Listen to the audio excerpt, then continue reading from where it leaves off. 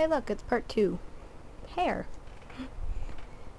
Okay, so I'm just gonna use the old one. That makes sense. Oh, create. Mm. Forgot I was gonna. Okay, create new layer. Set the properties. Stupid hotkeys. properties to multiply. Fill with white. And then select a slightly darker color for your hair. Yes, fun. Uh, eh. Okay, then select your hair with global on tolerance zero on your color layer. Then move back to the layer that you're going to put your hair shading on. Then use your, your line tool. Yeah. Line tool. This is kind of like the line art, really. And right click use white. Make it nice and sharp.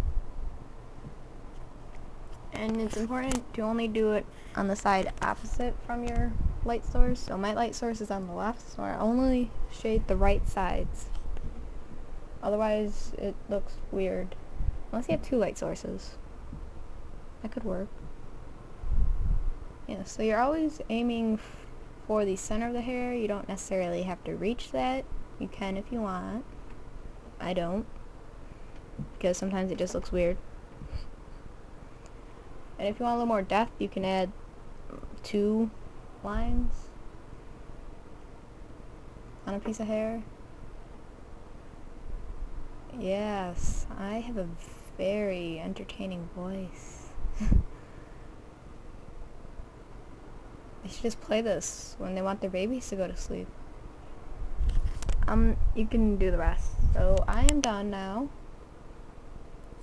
And I'm going to change the opacity because it's a little too dark in my opinion. And so I create a new layer. And I it stays on normal. Don't do anything with that. So select, use the eyedropper tool on your hair and make one lighter and one darker. You can add like, I add a little red for some reason. I don't know. I think it, it just helps it show up a little better. So go back to your empty layer with your pencil tool and keep and that, move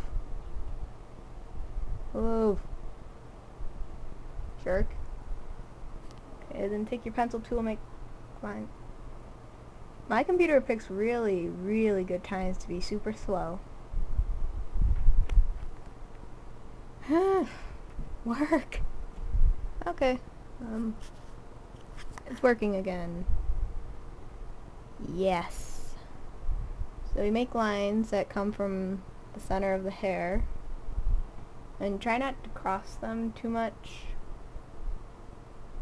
Although, I do anyways because I'm lazy. And I like going really fast.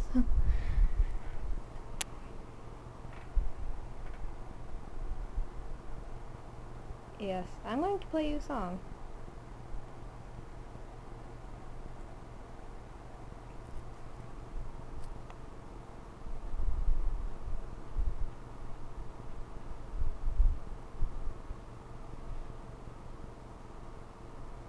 Enough of that.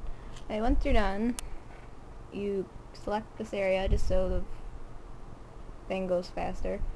Then go Effects, Blurs, Fragment. And play with your little settings until you get something that you like. Do do do do. Mm. do. That's good. So then you go back to color. What are you? Eh. Slow. Go to color. Still trying to get there.